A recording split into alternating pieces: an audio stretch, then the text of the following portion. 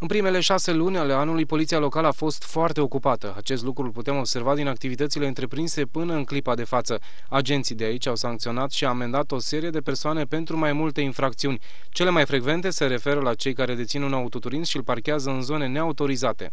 În prima jumătate a anului eh, pot să spun că Serviciul de Poliție Locale a eh, întocmit o serie de eh, peste 400 de procese verbale, valoarea amenzilor acestora fiind în jur la 43.000 de lei. Cele mai multe contravenții au fost constatate în baza Uh, hotărârii Consiliului Local numărul 15 și aici mă refer dintre toate um, uh, vreau să menționez, cele mai multe sunt la urcare și staționare pe trotuar, 98 de procese verbale.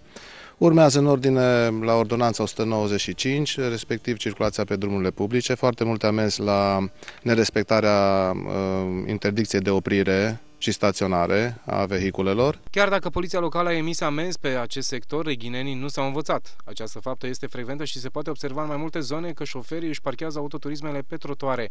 Acest lucru este sancționat deoarece în zonele respective zona pietonală este în garanție. Cele mai multe probleme care le avem uh, și actualmente sunt uh, urcările și staționările pe trotuar.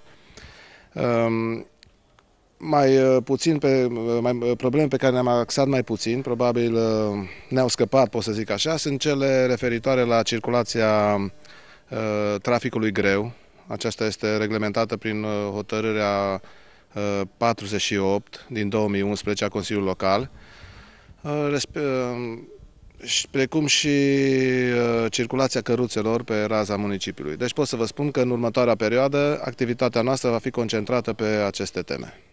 În total vorbim de 399 de procese verbale, din care 272 au fost sub formă de avertizment, aplicate în doar 6 luni. Suma totală a amenzilor ajunge până la aproape 44.000 de lei, semn că agenții poliției locale își fac treaba.